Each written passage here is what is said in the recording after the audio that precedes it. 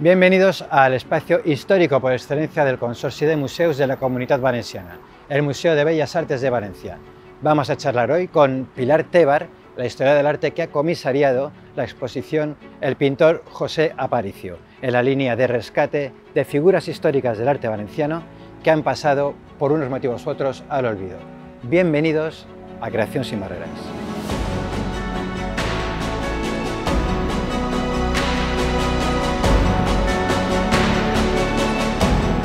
¿Qué tal? Agradecemos la presencia de Pilar Tebar, que se ha desplazado desde Alicante aquí al Museo de Bellas Artes. Pilar Tebar es, entre otras muchísimas cosas, además de comisaria, obviamente, de esta exposición, la directora del Instituto Juan Gil Albert de Alicante. Hola, Pilar. Hola, buenos días. Buenos días, ¿qué Encantada tal? de estar aquí. Eh, cuéntanos un poquito antes, una pequeña introducción de qué actividades eh, tiene el Juan Gil Albert, para quien no la conozca. Bueno, el Instituto Alicantino de Cultura Juan Gil Albert, que es un organismo autónomo de la Diputación de Alicante, eh, tiene, tenemos el encargo ¿no? y por, por, estatutos de organizar actividades culturales en la provincia de Alicante. Tenemos cinco departamentos, el Departamento de Arte y Comunicación Visual y Silvio Pérez, el de Humanidades, el de Revistas, que edita la prestigiosa revista Canelobre, mm. un departamento propio de, de publicaciones y otro departamento de Ciencias Jurídicas y Sociales. Con lo cual, bueno, yo trabajo, llevo un año y lo que hago es trabajar en base a un mapa de Alicante dividido en comarcas uh -huh. y vamos eh, programando actividades por todas las comarcas. Se, tenemos un, no tenemos mucho tiempo, pero me gustaría saber, eh, se de, empieza a detectar que Alicante está cobrando bastante vida y bastante presencia y actividad cultural. Eh, ¿Estás de acuerdo conmigo? Sí, Alicante está, está despierto porque muchas, bueno, tenemos el Supermaca que ahora ha recibido una maravillosa donación de, de, bueno, de Javier Romero y Michael Jenkins, que son, es una pareja vive en Nueva York, pero Javier es, es, alicantino y les han donado toda su colección de arte contemporáneo. Está el MAR, que ha sido mejor museo sí. del año, que es un museo maravilloso. El MUBAG, que acaba de reabrir con una nueva, un nuevo discurso expositivo sobre el siglo XIX. O sea que hay muchos espacios en mm. Alicante eh, que más o menos estamos trabajando juntos. Ha coincidido que ahora los gestores de todas estas instituciones tenemos muy buena relación personal y estamos haciendo por trabajar, por trabajar juntos y hacer acciones conjuntas la semana. Bueno, hace unos días el Día Internacional de los Museos lo realizamos con una acción conjunta todos los museos de, de Alicante y hicimos un, cada uno gestionó sus propias actividades, pero luego hicimos unos imanes con el poder de los museos, que era el lema de este año del ICOM, uh -huh. cada uno con una franja de color, la misma frase, y fueron unos imanes que fuimos entregando en todas las eh, instituciones que nos unimos para celebrar. Ganando presencia, básicamente, sí. ganando presencia cultural en, en, la capital alicantina. Sí. En fin, eh, vamos a lo que hemos venido, lío, como se suele decir. Estamos en la exposición eh, José Aparicio, el pintor, un pintor bastante olvidado en la historia del arte, y eh, el consorcio de museos, como hemos comentado antes de la grabación, está haciendo un trabajo bastante interesante de rescatar figuras olvidadas.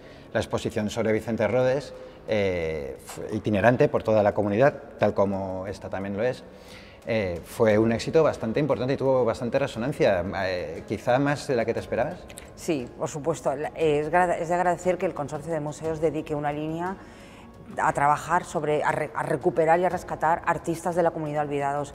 Ahí se reúnen los tres directores de, museo, de los museos de Bellas Artes de Alicante, Valencia y Castellón y proponen. Y de uh -huh. esas reuniones ellos eh, salen las líneas de, de, trabajo que se va a realizar.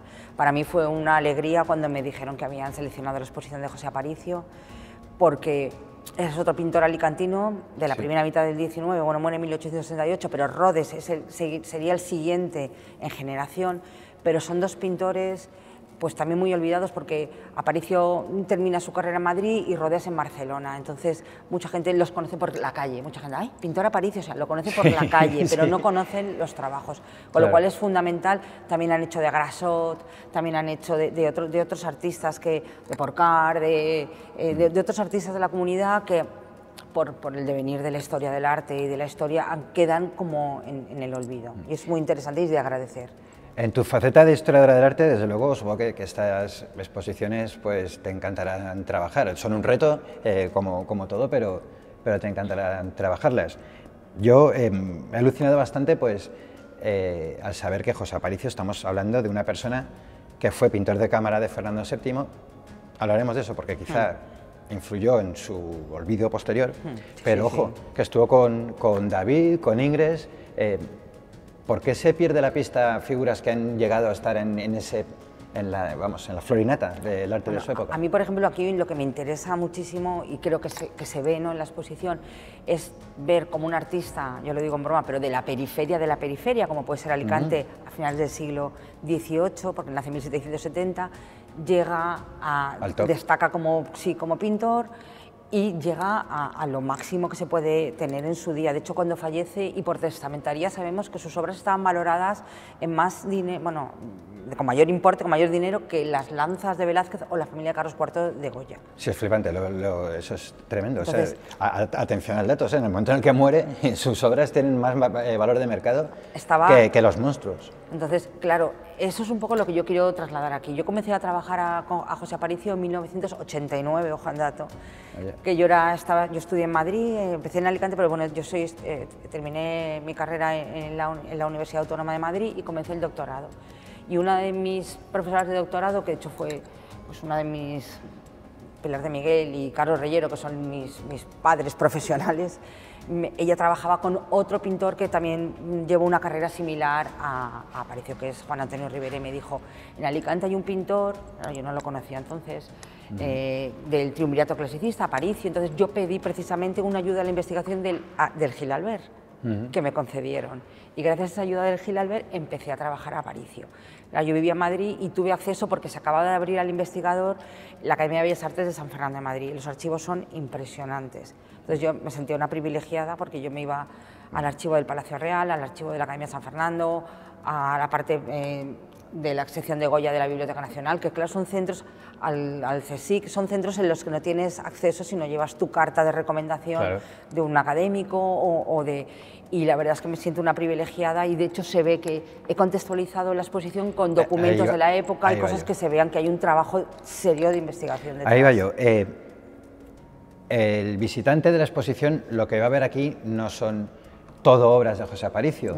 Eh, la verdad es que tampoco son, pues aproximadamente la mitad serán, porque has hecho un trabajo eh, de buscar referencias eh, para acompañarlas. ¿Cómo, ¿En qué consiste ese trabajo? Bueno, la, exposición comienza en Alicante. En Alicante es un momento mm, que están las bellas artes, mm, bueno, no existía academias de bellas artes, le empieza en trabajos, en estudios y talleres, mejor dicho, de, otros pintores de, Alicante, como pueden ser los Espinosa, y justo cuando Aparicio de Alicante, claro, como debía sobresalir en la pintura, viene a la Academia de Bellas Artes de San Carlos. Entonces, es importante contextualizar lo que está pasando en la Academia de Bellas Artes de San, de, San Carlos aquí.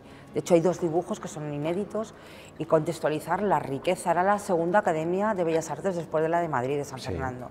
Entonces, yo creo que es muy importante saber el ambiente cultural que se va a encontrar a Aparicio cuando llega aquí, cuando viene de Alicante, que todavía no, no estaban reglamentados los estudios. de, Valencia da el salto a Madrid, a la Academia de, Bellas Artes de, San Fernando, donde va a explosionar su, su carrera porque va a obtener un premio que le va a pensionar a París. De hecho, tenemos la obra por la que consigue el premio aquí. Claro, pero lo consigue en 1796, pero hasta 1799 no, no, le, no se tramita todo. Y él, en los veranos que viene a Alicante... No había internet. tenemos cartas que él está en Alicante y está escribiendo él, y tanto como él como Vicente Suárez, que podemos hablar también de uno de sus maestros, que también tenemos obra aquí. Él está pidiendo que le concedan ya la pensión, o sea, se la han concedido, pero no, no, no arranca todavía. Entonces, 1799, octubre de 1799, ya tenemos a Aparición París. Mm. Claro, llega a París 1799. París por revolucionario, París napoleónico, eh, debía ser tremendo. impresionante. Eh, es la última etapa, en realidad, coincide porque ahí la, obra señera, digamos, de esta exposición. Sí, eh, está muy vinculada, recuerda a David, pero al último David.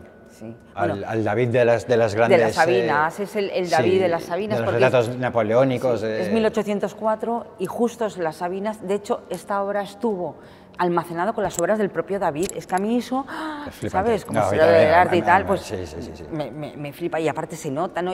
era eh, la, la, ebullición que tenía que tener el estudio de David, porque por ahí pasaban todos los alumnos que querían estudiar Bellas Artes, París y David, y ahí estaba Paricio de la periferia de la periferia, volvemos a hablar. Sí, Entonces sí. todo eso es lo que hay que poner en valor.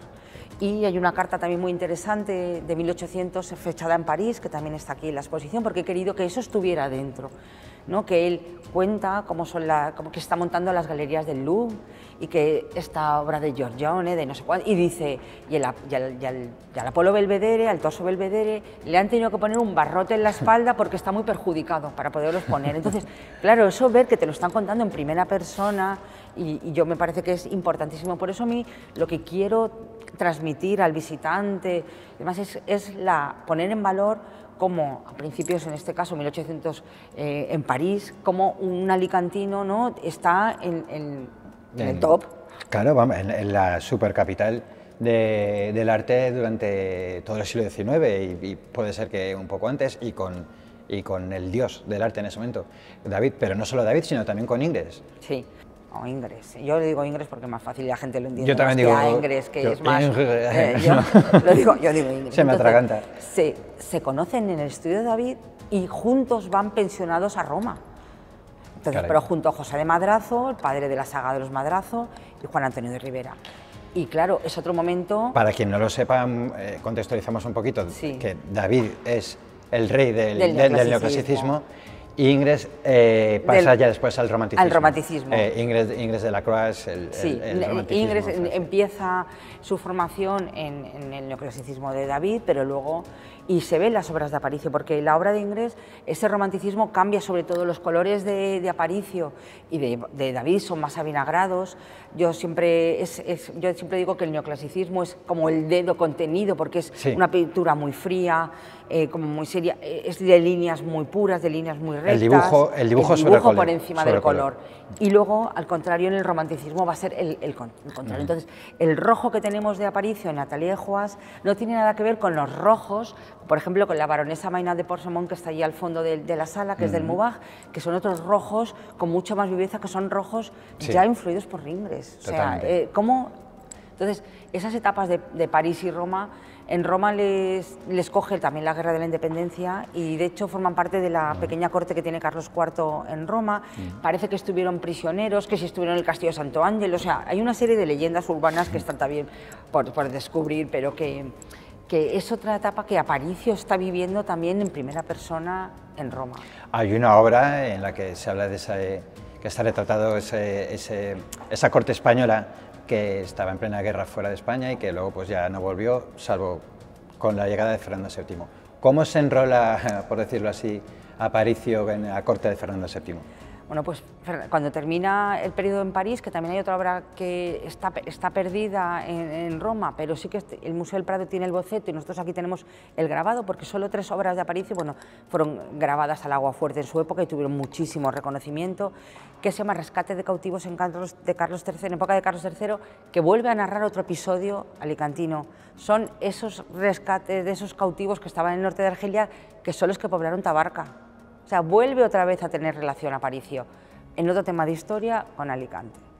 Entonces, eh, termina la guerra de independencia y, claro, él vuelve. Hay, un documento de la Academia de San Fernando que dice que llega a Barcelona con un montón de cajones de pintura y él no para de reclamar la- la pensión que no le habían pagado en Roma.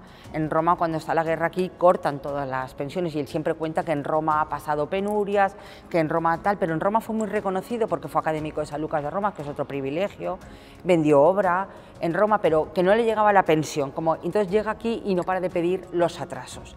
Y al momento de llegar también pide eh, ser nombrado eh, pintor de cámara de Fernando VII, claro, y se lo conceden. Y al mismo tiempo entra otra vez en la Academia de San Fernando como profesor, que termina siendo eh, dire- director al final ya de, de su Eso, vida. ya hemos mencionado un poquito antes, quizá determina su fortuna posterior, ¿verdad? Porque el retrato icónico de Fernando VII es el retrato de Goya. sí. Además, Fernando VII... López también tenemos uno que interesante que está en el MUBAC que se incorporará en, Eh, pero en Alicante. El icónico y el famoso, sí. es, eh, porque es psicológico también, es el de Goya. Mm. Tiene el problema quizá de que, claro, Fernando VII está unánime- unánimemente considerado como el peor y más tiránico. La década ominosa, era un, monarca absolutista y un monarca que fue... Después, por de, eso esa- esa después de la guerra lo primero que hace es eh, abolir la Constitución, retorno total al absolutismo, en fin, lo, que sé todo el mundo. Esa sombra le perseguirá siempre Aparicio. Claro, por eso eh, cuando vuelve a España hemos abierto dos, eh, apartados en la exposición. Uno, la glorificación de la monarquía, que esa parte es una cosa que él ha aprendido de David. David fue el pintor de la Revolución y el pintor de Napoleón y él vuelve aquí y va a ser el pintor áulico, o sea, él va a hacer la propaganda de la monarquía de, Fernando VII y e, esa vinculación al monarca va a ser el que luego, como la década ominosa, es una etapa más, quizá más oscura de... Es ominosa. Entonces, también con esa década ominosa entra en el oscurantismo eh, Aparicio como pintor, porque además Aparicio como pintor tiene cuadros de calidad desigual, pero eh, es importante ver todo lo que él consigue. O sea, consigue ser pintor del rey más poderoso Y, académico de, de San Fernando, académico y profesor. ¿Qué pasa? Que al ser pintor de Fernando VII también es un pintor de la burguesía, de la sociedad, de la aristocracia. Por eso hay una serie de retratos de los generales de su época, son los generales que pinta para la Junta de Iconografía Nacional, para el, pabellón de o el panteón de los, de los españoles ilustres.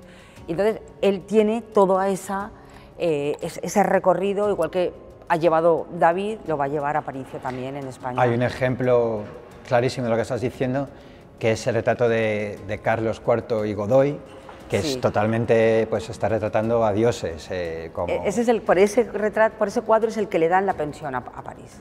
la Godoy presentando la paz a Carlos IV. Es un tema eh, con una iconografía muy destacada, está el rey, están todos los atributos reales, está Godoy que lo presentan como, bueno... Sí, si alguien tiene en la cabeza, porque es muy famoso, y si no lo puede eh, consultar por internet, ese eh, retrato majestuoso de Napoleón con su tridente, con, el armiño, con todo esto, pues es un poquito a otro nivel, evidentemente, lo que, lo que lleva Aparicio a retratar a, a Carlos IV y a, Fernando VII. Y a, Fernando VII y, Godoy también. Primero empieza. Godoy claro.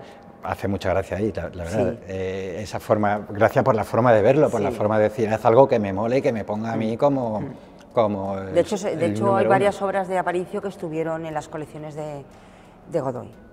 Sí, vaya. Sí, Luego les expropiaron y todo eso, pero que estuvieron en, formaron parte de la colección privada. Con la revolución, cuando tiraron a, Godoy de Aranjuez, pues lo, perdió todo. Godoy que está enterrado en Francia. Eh, una pequeña curiosidad histórica. ¿Llegó a coincidir con Goya en la corte? Eh, llegó a coincidir con Goya como profesor en la Academia de San Fernando. Mm, Goya, que también eh, bueno, no está incluido, lo incluí en el catálogo, alguna documentación. Gracias a todo lo que yo he trabajado en la Academia de San Fernando, se mantienen, se conservan los turnos de profesores. Mm. Entonces está dividido enero, febrero, marzo, los por meses, y, del natural de tal, de, o sea, y entonces ahí te ponen cómo los profesores eh, van, van alternándose de las disciplinas que eran, eran profesores. Y trabajando en esa documentación, mm, tengo documentos en los que Goya, por ejemplo, ya pide que no, dar clase porque como no oye produce la diversión de los muchachos, o sea, tengo también documentos en torno a esa etapa de Goya, esa etapa final de Goya en el cómo le, afecta eh, la sordera. Y sí que fue fue profesor, sí que coincide cuando en un Aparicio, alumno en la Academia de Bellas Artes de San Fernando. Observando las características de las obras de Aparicio, da la impresión de que quizá con Goya no debería... Haberse encontrado llevarse bien, ¿no? No debería de comer sopa. Pero bueno, eh, como era el periodo de formación y, y, el gusto lo dictaba la Academia, y entonces todo eso, en su formación, sí que tiene presente a Goya. No mm. lo nombra en nada, porque no yo he visto ningún escrito de Aparicio, ninguna carta, ningún que nombre a, Goya, posterior ¿no? en la enseñanza, pero sí que, sí que, eh, sí que coincide. Y, también tengo aquí, está reflejado en una vitrina que me parece muy interesante, cuando él presenta el cuadro de eh, Godoy presentando la paz a Carlos IV, que lo presenta a concurso, ahí vienen los alumnos que se presentan a concurso, luego están los profesores que votan y luego hay otro documento que están con las barritas, con las, de, de cuántos eh, cuántos votos ha tenido cada alumno y Aparicio se quedó el primero. Y está también aquí en la vitrina. Entonces me parece todo eso que, es, que enriquece la, exposición. Está en pequeñito una reproducción de, la llegada de, Fernando VII al puerto de Santa María, como en, el momento, su momento cumbre de que parece que España va a cambiar y se va a modernizar. Eh, en fin, fue todo lo contrario. El desembarco de Fernando VII, el desembarco de Fernando VII era una obra gigantesca de pinta. 7 por 15 metros que estaba en las Salesas Reales en Madrid, en el Tribunal Superior de Justicia. Y hubo un incendio en 1915 y ese cuadro supuestamente se quemó. Entonces, eh, se, se olvidó ese cuadro. Hay otro, como un boceto más en pequeñas dimensiones, un boceto porque es la misma obra, es una réplica de menores dimensiones en el Museo del Romanticismo, que es el que está aquí. Y precisamente yo me fui a ese cuadro porque como fue muy famoso, hay hasta una descripción de los personajes numerados, todo esto aquí en esta vitrina. Sí, Y es me, muy me- interesante me esa- fui esa parte. a, a buscar y, y yo vi que eran todos los personajes que estaban los, eh, en la fototeca, la fotógrafo- por el fondo Carré, de, pues, de principios de, de la fotografía, y eran esos personajes de ese cuadro. Entonces me ponía que estaban en el Museo de Cerralbo. Y ya me puse en contacto con el Museo de Cerralbo, empecé a tirar del hilo y localicé esos cuadros en el, el Museo Cerralbo. ¿Qué pasa? Que o bien no se quemó y lo robaron directamente el cuadro, o se quemó parcialmente y alguien lo cogió, lo recortó y se vendieron, unificaron los fondos, porque no son fondos del cuadro, son fondos neutros, y se vendieron. Entonces, a través de esa investigación, que esos cuadros eh, supuestamente estaban en el Museo de Cerralbo, siguen en el Cerralbo, pero han vuelto al Museo del Prado como titularidad. Con lo cual, todo está también recogido ahí. Hay unas fotografías también de la, de la policía con todos los enseres de- de- después del incendio, Anda. custodiándolos, y yo pienso que ahí eso se despistó, entre comillas, y, y lo, lo robaron. Lo que me lleva eh, es un puente para hablar de otra labor muy interesante que hacéis los comisarios de, de exposiciones históricas. Tenemos eh, detrás de ti obras que, son- eh, que pone atribuido. Sí. ¿En qué se basa una investigación para atribuir una obra que no está firmada o que no es seguro atribuirla a un pintor o otro? Sí, precisamente todas las obras que, se incorporan y como atribuidas, porque yo también considero eh, que está ahí Aparicio detrás, son dos obras del Museo Lázaro Galdiano que se, ha- se han restaurado con el presupuesto de la exposición, con lo cual hemos recuperado esas obras que estaban eh, sin restaurar. Y estas están atribuidas además por un experto también del siglo XIX, que es José Luis Díez. Yo, y se basan en una serie de características técnicas. A mí hay un tema, Aparicio, que ya te he dicho que tiene, carácter- es de- tiene una calidad desigual. Una cosa que no, no termina de hacer bien son las manos. Las manos de Aparicio son blandas, no tienen huesos, Ah, no, no, tienen nudillos. dado cuenta. Entonces, en muchas de las manos se pueden ver y, y aquí es otra de las características, características también que vemos, que esas, esas manos también son sin nudillos, son el ambiente, la época, por eso son atribu- atribuciones. eh, Claro, no están firmados, no, no podemos afirmar 100% que es, por eso se mantiene el- la atribución. Y bueno, son cuadros atribuidos, son de mucha, de mucha calidad. Pero, puede aparecer alguien y demostrar posteriormente que en realidad eran de otro pintor o que no... Bueno, sí, puede haber estudios, claro. Claro, Este es eh, No, este, pero por lo- lo ejemplo, las- que es muy interesante, se pensaba antes, bueno, eh, hace unos años, que podía ser del círculo de Zacarías González Velázquez, pero estudios posteriores indican que es más del Me círculo había fijado más en los ojos, sobre todo en la, en la Sí, obra del fondo, que, sí. que en las manos. No me había dado cuenta en, en lo Las manos son muy interesantes. Eh, hemos, esta es una de sus características. ¿Qué otras características? eh, has dicho que, que la calidad es desigual. Sí, en Aparicio ¿Qué es lo bueno y qué es lo No, la calidad, que hay cuadros bueno? que tienen que son, hay obras que son muy buenas de calidad en cuanto a composición y luego hay otras pues que a lo mejor mm, no son tan buenas quizá porque tenía muchas, muchos encargos, a lo mejor cada las obras no le dedicaba a lo mejor el tiempo que tenía o terminaba alguien de, de su círculo cercano, de, sus, de su taller, porque fue tan importante que él tuvo su estudio en la crujía del Salón de Reinos del Palacio del Buen Retiro. Es decir, ahí no creo que entre cualquiera. Tuvo infantes de alumnos, o sea que tuvo un montón de- de gente alrededor y puede ser que no terminara las obras, que fuese al- al- alguien de su círculo, de sus alumnos. En el momento de esta grabación estamos en Valencia, en el Museo de. Bellas Artes de Valencia. Eh, acaba el- El 12. a- habrá acabado el 12 de junio eh, la exposición aquí.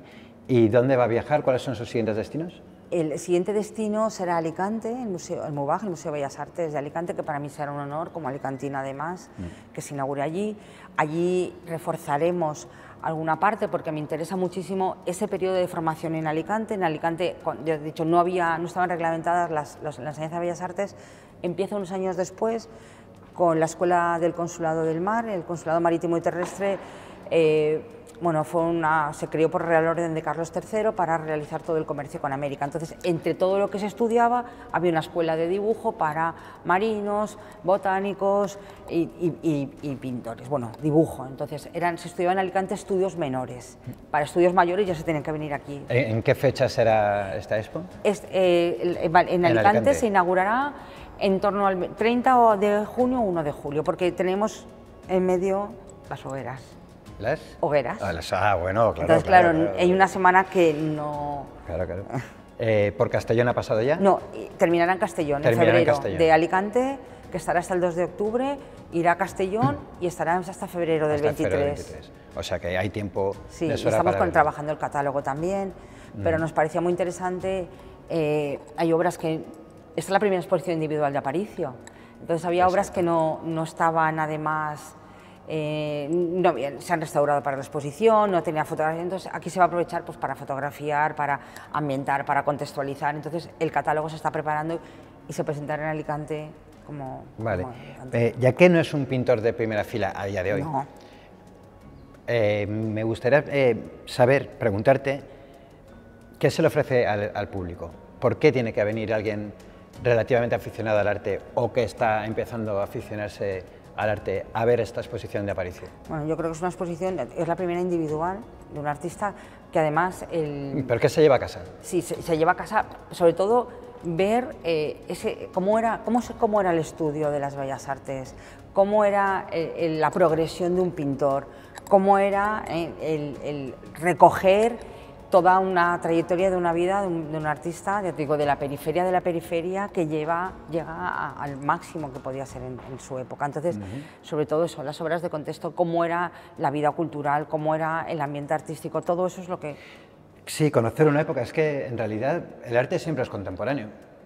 Eh, llamamos arte contemporáneo lo que se está haciendo ahora, pero pertenece a su época, a la época en la que la que se está haciendo. hasta, las cosas de Altamira son contemporáneas porque están tratando pues la prehistoria. Por, eso he querido contextualizar en vitrinas documentos de la época y también algunas obras que no han podido estar porque son obras de grandes dimensiones. En la actualidad no se pueden sacar de los museos obras que, que haya que quitar del marco como enrayar como antes. Ahora no se, no, permite, no se permite eso, entonces son obras, las obras del extranjero no las hemos podido traer, pero sí que quiero, sí que han estado representadas en las vitrinas junto con la documentación, que también es muy interesante, documentación contextualizada de la época. Hay un trabajo de investigación muy fuerte detrás. Es un movimiento relativamente reciente el de, el de documentar, rodear las obras con documentación y se está consolidando bastante. Eh, para ir acabando ya, Pilar, eh, cuéntame, ¿se está trabajando en, recuperar también otras figuras de pintores eh, de la comunidad que no que se nos han pasado por alto, como es este caso? Se debe, se debe continuar trabajando, hay artistas interesantísimos yo hablo sobre todo de una escuela, por ejemplo, en Alicante, la escuela de, de Alcoy del siglo XIX, impulsada al principio del XX, impulsada por esa burguesía, esa rica burguesía, que además es una burguesía que viaja, que conoce. Tenemos un Gisbert, director también del Museo del Prado, el que pintó los fusilamientos de Torrijos. Tenemos un Emilio Sala, que hizo un tratado de pintura en 1859, que sigue vigente en la actualidad. Es decir, que tenemos una serie de artistas que se debe seguir recuperando mm, para el disfrute, yo creo, de, de todos. Totalmente. el, disfrute, la memoria. Sí, la eh, recuperación, la documentación, el, catálogo queda. Eh, mm. Y esto abre vías a nuevos trabajos posteriores de los historiadores del arte. Y conocer a nuestras figuras del pasado es conocernos a nosotros mismos, a fin de cuentas. Pilar, un placer como siempre hablar contigo, es la segunda vez que charlamos así profundamente y me lo he pasado igual o, mejor que la primera porque... fue por teléfono, fue en pandemia, otro... sí, Tampoco era muy difícil porque aquella fue eh, nada más empezar el confinamiento. Así que eh, muchísimas gracias, Pilar. Encantada. Mucha suerte, enhorabuena. Encantada. Y a seguir a tope con todo. Encantada. Y a ustedes, pues les esperamos en la próxima edición de Creación sin Barreras. Hasta luego.